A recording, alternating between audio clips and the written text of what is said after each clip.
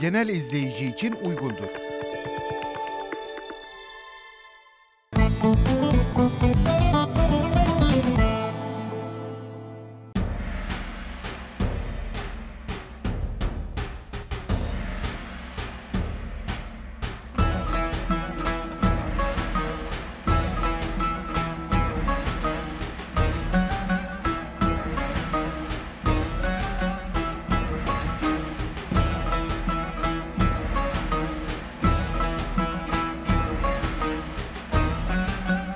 İç Anadolu'da medeniyetlerin buluştuğu, aşıkların dizelerine konu olan şehir Niğde'den herkese merhabalar. Ben Sinan Kunter. Memleketin programıyla Türkiye'nin farklı kentlerindeki güzellikleri ekrana taşımaya devam ediyoruz. Bu kez tıpkı o meşhur atasözünde olduğu gibi geçti borun pazarı Süreşehir'ini Niğde'ye dedik. Türkiye genelinde Niğde genelde tarımdaki üretim gücüyle biliniyor. Ancak bu programda sizlere kentin sahip olduğu büyük turizm potansiyelini göstermek istiyoruz. Hititlerden Selçuklulara kadar pek çok medeniyetten izler taşıyan bu kenti yakından tanıyacağız. Üstelik bu programda Niğde Belediye Başkanı Sayın Emrah Özdemir de bizimle beraber olacak, memleketini anlatacak. Bugün memleketim Niğde.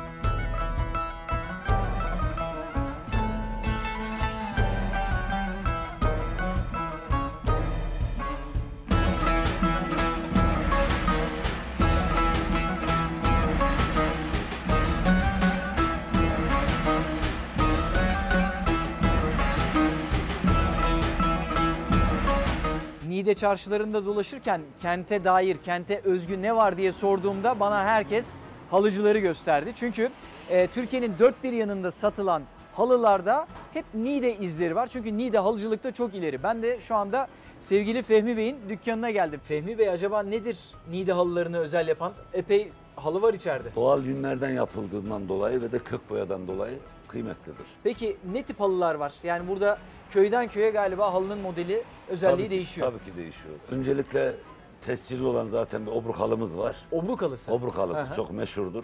Hangisi o gösterir misiniz O, bize? bu halımız. Başta bu, Bu. efendim. Nedir acaba obruk halısını özel yapan? Yüzde yüz yün oluşu, Hı hı. natürel oluşu da var. Kök boya oluşu da var. Siz bunları nerelerden temin ediyorsunuz? Dokuyorlardı maalesef dokumayı bitirdiler. Bu zanaat öldü mü? Maalesef.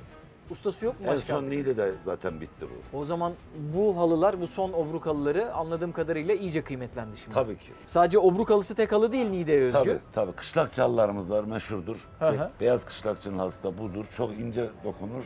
Kök boyadan yapılmadır. Evet. O da bir şöyle dokunacağım Tabii müsaadenizle. ki. Tabii ki. Kağıt Evet. gibi zaten. Dokunduğunuzda o çok ince yapıyı hissedebiliyorsunuz. Arkasını da gösterebilirim. Aa evet. Arkası önünden güzel. Doğru. Bir tablo gibi, bir sanat Aynen, eseri gibi. aynen. Bu da kışlakçı halımızın Bu da seccadesidir. Aha. Çok özel bir dokumadır. Evet. O bunun Kuzularından dokusu yapmadır. Yumuşacıktır zaten. Kuzu yünleri tamamıyla. çok yumuşak hakikaten. O yumuşaklığı, özelliği Bir de hissediyorsunuz. madenlerimiz var. Bir de Maden. maden halısı. Maden Çamardının, Madenin o da- Çamardının merkez mahallesi. Aa bunda da doku bayağı farklı bunda bu da da. öyle. Bu da öyle. Bu da maden halılarımız. Bu her ikisi de maden halısı. Vallahi şöyle sizinle beraber tutalım. Tabii. Kameraya gösterelim. Tabii. Bakın. Bunlar Anadolu'nun hazineleri. Sağ olsun Fehmi Bey bize anlattı bir parça Niğde halılarının özelliğini. Bir de kahve ikram etti. Çok teşekkür Ne ediyorum. demek rica ederim. Sağ olun. Şeref verdiniz memlekete. Sağ olun.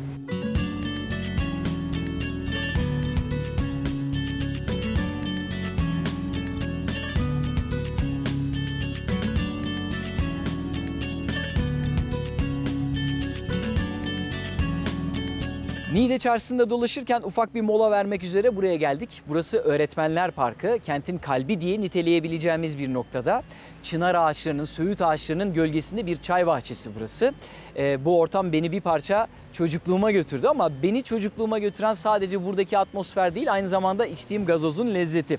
Gazoz konusunda Niğde'de bir satır başı yapmamız gerekir. Çünkü e, Türkiye'de üretilen ilk gazozlarda Niğdelilerin izi var. 1890 yılında İstanbul Beyoğlu'nda üretiliyor ilk gazoz ve üretimi yapan kişi de Niğde kökenli Rum bir vatandaş. O dönem Fransa'dan makineler getirilip e, Türkiye'de ilk gazoz üretimine başlanıyor. Ve o üretim zamanla Anadolu'da da yankı buluyor ve Anadolu topraklarında üretilen ilk gazozda Fertek markasıyla işte bu şehirde Niğde'de yapılıyor. Niğde'de gazoz halen daha çok sık tüketilen bir içecek ve böyle çay bahçelerinde insanları e, ellerinde gazozlarla çok sık görebilirsiniz.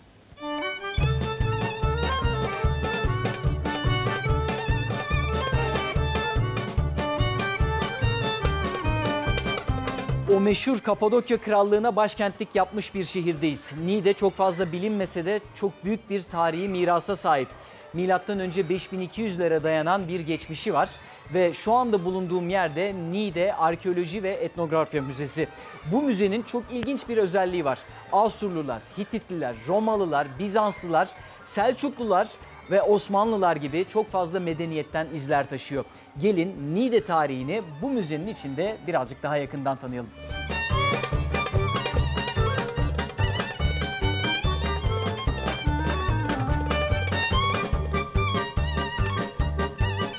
Niğde Müzesi çok büyük bir alana yayılmıyor ama eser yoğunluğuna baktığımız zaman çok zengin bir müzeden bahsedebiliriz. Çünkü eskiden Niğde'ye bağlı olan Nevşehir gibi, Aksaray gibi e, tarihiyle ön plana çıkan pek çok yer var. Ve o bölgelerde yapılan arkeolojik kazılarda elde edilen buluntular da zamanında bu müzeye getirilmiş ve halen daha korunuyor. Müzede benim ilgimi en çok çeken yerde arkamda gördüğünüz bölüm oldu. Tiana bölümü, Kemerhisar bölümü. E, burası halen daha arkeolojik kazıların devam ettiği bir yer. Niğde'nin Bor ilçesinde kalıyor. Kemerhisar'la ilgili ilginç bir bilgi de şu. Tarihte bilinen ilk vejeteryan Tianalı Apollonis bir filozof bu topraklarda yaşamış, yetişmiş ve buradan e, Atina'ya kadar gitmiş. Hayvansal ürünleri tüketmeyi reddetmiş.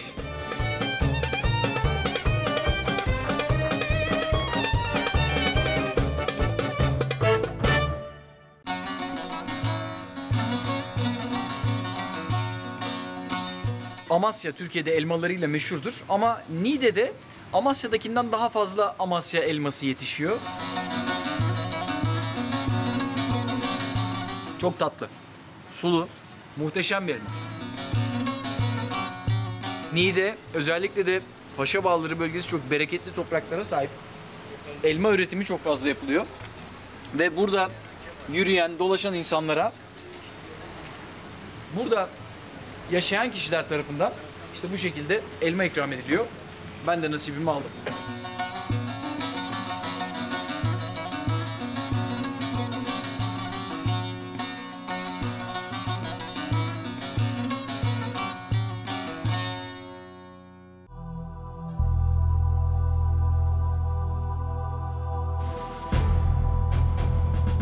Burası Gümüşler Manastırı. Niğde'nin merkezinden yaklaşık 15-20 dakika arabayla uzaklıkta ve e, bir parça piknik alanı, mesire alanı gibi yerler var çevrede. Ama tabii ki burayı özel yapan şu an içinde bulunduğumuz manastır. Milattan sonra 8. yüzyılda ilk Hristiyanlar tarafından tek bir kaya parçası üzerine oyulmuş bir ibadet merkezinden bahsediyoruz. E, Kapadokya'daki Derinkuyu mağarasını gezenler hatırlayacaktır. Burada da tıpkı Derinkuyu mağarasında olduğu gibi aşağı doğru inen bir yeraltı şehri var. Yine kayanın içine oyulmuş.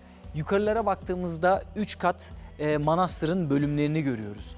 Ve içeri girdiğimizde ise çok daha ilginç bir manzara karşılıyor bizi.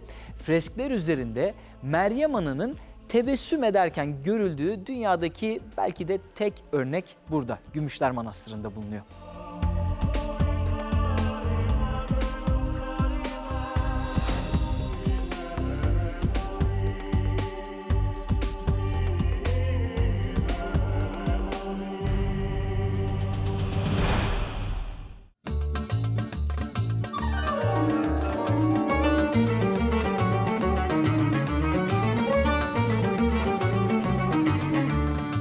Niğde'de bu kadar gezip dolaştıktan sonra elbet Niğde lezzetlerini de tatmak gerekecekti. Huzurlarınızda bor söğürmesi Niğde'nin coğrafi işaretli ürünlerinden bir tanesi bu. Ve e, yöreye özgü yapılıyor. Altta Niğde'nin Bor ilçesinde yetişen bir biber e, serili. Onun üzerinde kuyruk yağı var, sarımsak var. Sarımsak da yine Niğde'de yetişiyor. Ve hepsinin üzerinde de yağlı bir kuzu kaburga var. Şöyle tabağıma alıyorum.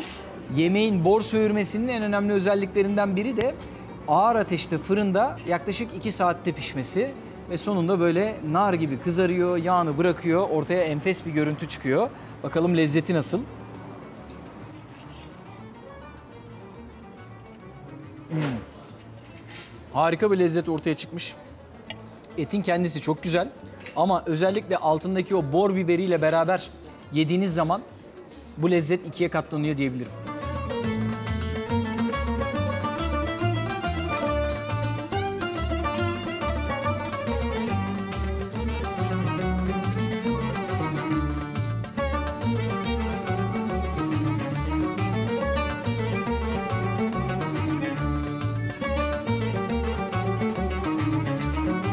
Başkanım selamlar. Merhabalar, hoş geldiniz. Hoş bulduk. Nasılsınız? Merhabalar, buyurun. Teşekkürler. Sağ olun, sizi gördük. Daha iyi oldu.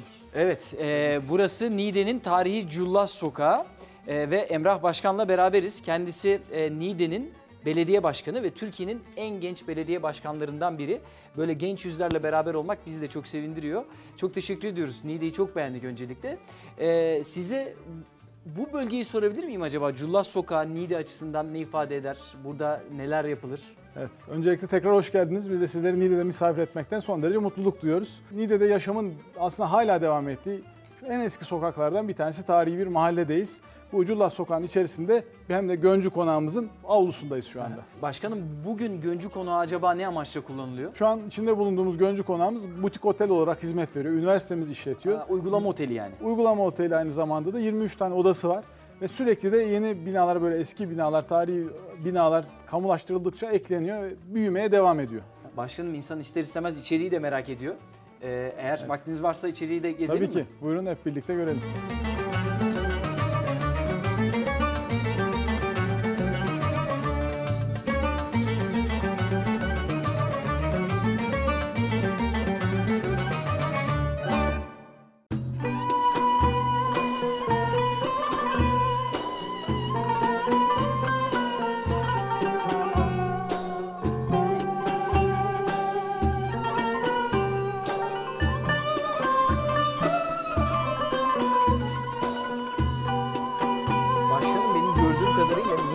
Aslında Selçuklu mimarisi konusunda eşsiz örneklere sahip. Yani e, pek çok şehirde olmayan özellikler bunlar ama pek de fazla bilmiyoruz sanki.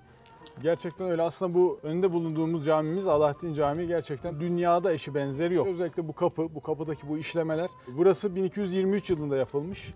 Ee, Selçuklu hükümdarı Alaaddin Keykubat zamanında yapılmış. Ondan Evet. dolayı da Alaaddin Camii. Adı da bu yüzden Alaaddin Camii. O zamanki e, Zeynettin Beşare Selçuklu Bey'i yaptırıyor. Alaaddin Keykubat hükümdar adına yaptırıyor bu camiyi.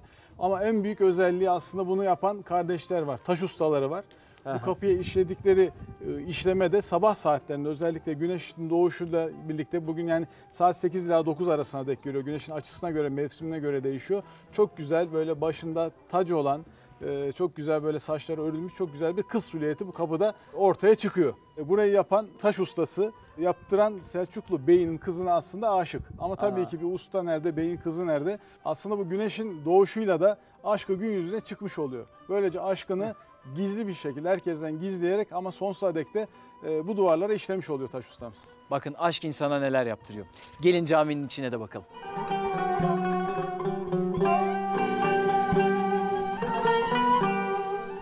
Az buz değil, yaklaşık 800 yıllık bir tarih var bu camide ve halen daha kullanılıyor. Cemaat kullanabiliyor değil mi? Kesinlikle beş vakit burası böyle canlı canlı dolu dolu cemaatiyle birlikte ibadete hizmet ediyor. Emrah Başkanım buradan nereye devam ediyoruz? Evet şimdi çok konuştuğumuz aslında Niğde kalemize, kalemizin tam kalbine gidiyoruz.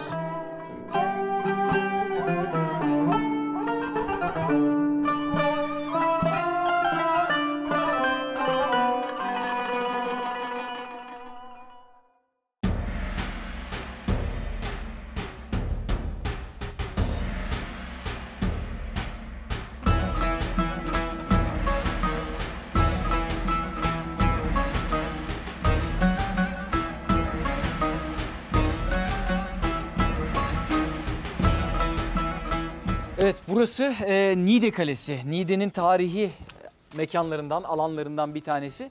E, tipik bir Selçuklu Kalesi görünümü var. Niğde Kalesi'ni sizden dinleyebilir miyiz? Kent için acaba burası ne ifade eder? Evet. Bizim Niğde kalemiz de aslında Niğde'mizin göz bebeği. Ee, burası biliyorsunuz Niğde medeniyetlerin yaşatıldığı ve yaşadığı bir şehir. Ee, Niğde Kalesi de en önemli değerimiz. Hititler zamanında yapılmış aslında kalemiz. Aha. e, sonrasında Bizanslar, daha sonrasında Selçuklular ve Osmanlılar kullanmış. E, burası ile ilgili koruma amaçlı ve tabii burayı belki de bir parça turizme daha fazla kazandırma amaçlı bir tasarruf var mı? Evet çok büyük değerlerimiz var, çok güzel değerlerimiz var. Ama maalesef çevrede metruh yapılar ve çarpık yapılaşma var. Ve şehrimize, kalemize yakışmayan görüntüler vardı. Bu değeri yakışmayan görüntüler vardı. Bizim zaten aslında en büyük hedeflerimizden bir tanesi Niğde Kalesi ve çevresi koruma ve yenileme projesi. Bunu Çevre ve Şehircilik Bakanlığımızla birlikte yapıyoruz. TOKİ ile birlikte yapıyoruz. Bu gördüğümüz kalenin dokusuna uygun iki katı geçmeyecek taş binalar. Bu bölgede en az 4 adet butik otelimiz olacak, iş hanlarımız olacak. Gene az sayıda da olsa konutumuz olacak. Müstakil Niğde, Niğde mimarisinde konutlarımız olacak ve burada insanlarımız yaşamaya devam edecek. Bu projenin de Niğde'ye özellikle turizm alanında çok büyük bir katkı sağlayacağına şüphe yok. Diliyoruz ki muvaffak olursunuz. Proje e, mümkün olan en kısa sürede amacına ulaşır. Peki buradan nereye devam edelim? E, birazcık müzik dinleyelim? Biraz Niğde türküsü. Çok iyi olur. Bizim yöresel sanatçılarımız da var aslında. Ee, Bu yöresel sanatçılarımızdan bir Niğde türkülerini dinlemekte büyük keyif alırız. Peki. E, Sayın Ali Ercan'dı galiba değil mi? Be- evet, özellikle adı. neredeyse bu hatta yakın bir zamanda 70. sanat yıl dönümünü kutlayacağız. Ee, inşallah ondan Niğde türkülerini dinlemekte gerçekten herkese nasip olmaz. Peki hadi öyleyse e, biraz Niğde şarkısı dinleyelim. Niğde türküsü dinleyelim. Sevgili Ali Ercan hocamızın, üstadımızın yanına doğru yol alalım. Ne olur yaşasak dünya Kimine kavun ikidir Bana düşalak dünya Buyursunlar Selamlar, selamlar. Hoş bulduk. Alemcan, Siz de hoş hoş bulduk. geldiniz. Hoş bulduk üstadım. Sağ olun, var olun. Evet aranızda Şimdi- en genciniz de benim burada Şimdi bir üstadım öncelikle sizin hakkınızda birkaç kelam edelim. Ee, Ali Ercan üstadımız kendisi 92 yaşında bir sanatçı Aman ve 92 oldu mu 92? Yüzde gitsin Yuvarlak hesabı. Yüz diyelim ortalığı. Türkiye'de rekora gidiyorum İnşallah. Ve e, gördüğünüz gibi neşesinden, enerjisinden hiçbir şey kaybetmeden Niğde'de yaşamaya, türkülerini söylemeye devam ediyor. Evet. Şimdi e, üzerinde bulunduğumuz topraklar aslında Bozlak geleneğinin sürdüğü topraklar. Neşet Ertaş da biliniyor çoğu zaman Tabii. ama e, Niğde'de işte Ali Ercan üstadımız var. da Değil mi? Alevcan'dan. Mesela Niğde'mizin en güzel türkülerinden, bozlaklarından Eminem türküsü. İşte dinleyelim. Buyurun. Of yarem yine de bahar geldi de Akıyor seller vay anam seller Derdim içerimde gelin eminem Ne bilsin eller vay eller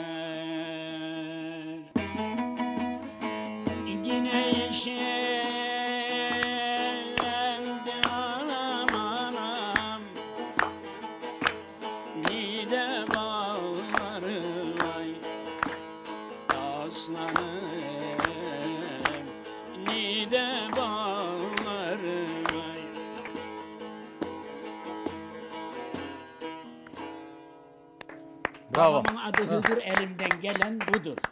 Sağ olun, var olun. Valla e, yaş kaçtı? Yaş ben hasta değilim esasında. İşte. Yaşımı soranlara öyle diyorum. Para puldan da soranlara da diyorum ki borçlu değilim. Vallahi bravo. İki, iki kelime. Öyle. İsterseniz sabaha kadar okuyalım çalalım. Bravo vallahi.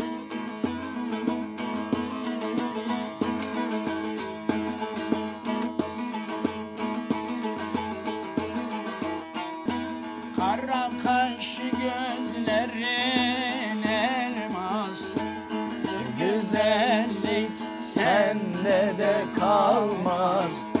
Pişman olun kimseler almaz Anana bak halini Memleketimde bu hafta Niğde'deydik. Memleketim Niğde dedik. Yeni bir programda Türkiye'nin farklı bir kentinde görüşünceye dek hoşçakalın.